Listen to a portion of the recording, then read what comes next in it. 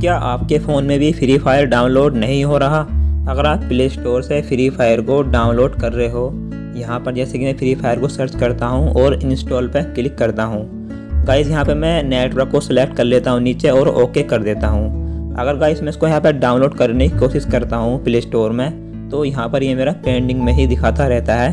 ये मेरा डाउनलोड नहीं हो रहा है। चाहे गाइस मैं इसका कितनी भी देर तक वेट कर लूँ, ये फिर भी मुझे पेंडिंग में ही दिखाता रहता है। तो गाइस आज की इस वीडियो में हम आपको यही बताएँगे कि आप इस प्रॉब्लम को कैसे सही कर सकते हो। तो गाइस वीडियो पूरे बने रहिएगा। हेलो फ्रेंड स्वागत है आपका एवरी सोल्यूशन हिंदी में। तो चलिए गाइस वीडियो को शुरू करते हैं। तो गाइस सबसे पहले आपको अपने मोबाइल की सेटिंग्स में जाना है।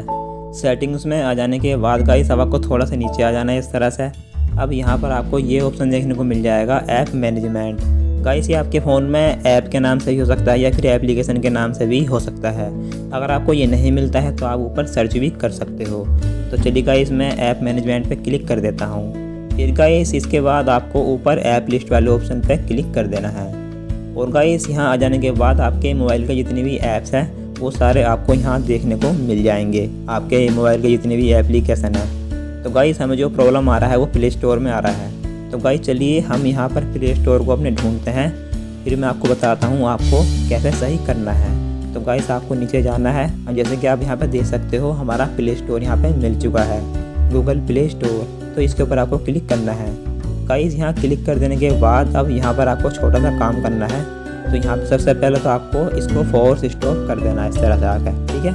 अब ये हमारा फोर्स स्टॉप गाइस हो गया है। फिर इसके बाद यहाँ पर आपको स्टोरेज वाला ऑप्शन मिलेगा, जैसे कि आप देख पा रहे हो ये। स्टोरेज यूसेज तो इस ऑप्शन पर गाइस आपको क्लिक कर देना है।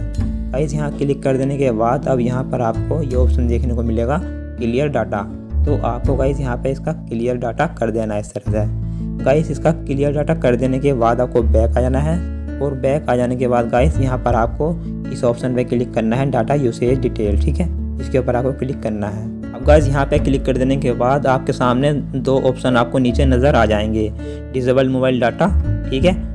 डिसेबल्ड वाईफाई तो गाइस आपके ये दोनों ऑप्शन बंद होने चाहिए, जैसे कि आप देख सकते हो, यहाँ पर आपका ये डिजेबल्ड है। फिर गाइस आपको ये चेक करने के बाद आपको बैक आ जाना है, और गाइस बैक आ जाने के बाद आपको ऊपर देखने को मिल जाएगा गूगल प्ले सर्विस तो गाइस आपको ऐसा ही कर देना है, इसका भी स्टोरेज यूसेज आपको क्लिक करना है। फिर यहाँ से आपको इसका क्लियर डाटा कर देना है, जैसे आपने गूगल प्ले स्टोर का किया था। फिर गाइस आपको कर देने के बाद आपको बाहर आ जाना है। बाहर आने के बाद गाइस आपको क्या करना है, आपको अपना नोटिफिकेशन वार को नीचे गिराना है। और यहाँ पर आपको अपना फ़्लाइट मोड को ऑन कर देना है। गाइस फिर आपको इसे ऑफ़ कर देना है इस तरह से। फिर आपको चेक करना है, आपका डाटा अच्छे से खुल गया है या नहीं खुला है। फिर गाइस आपको क्या करना है, अपने प्ले स्टोर में जाना है। और प्ले स्टोर में आ जाने के बाद गाइस ये थोड़ा सा समय लेगा क्योंकि हमने इसका डाटा जो है क्लियर कर दिया है। अब चलिए गाइस इतना कुछ करने के बाद हम फिर से ट्राई करते हैं, हमारा फ्री फायर डाउनलोड होता है या नहीं होता है। तो गाइस यहाँ पर मैं सर्च कर लेता हूँ फ्री फायर को। और मैं इसको डाउनलोड करने की कोशिश कर लेता हूँ। गाई जैसे कि आप यहाँ पर देख पा रहे हो, हमें यहाँ पे नीचे नेटवर्क को सिलेक्ट कर लेना है। फिर इसके बाद ओके पे क्लिक कर देना है। गाई जैसे कि आप देख पा रहे हो, यहाँ पे मैंने उसको लगा दिया है और ये मेरा हो चुका है डाउनलोडिंग स्टार्ट तो गाई जैसे कि आप देख सकते हो, यहाँ पे मेरा फ्री फायर जो है वो डाउनलोडिंग होना शुरू हो गया है। यहाँ पे हमें जो पेंडिंग की प्रॉब्लम आ रही थी, वो हमारी सही हो चुकी है। तो गाई इस तरीके से आप भी अपने इस प्रॉब्लम को सही कर सकते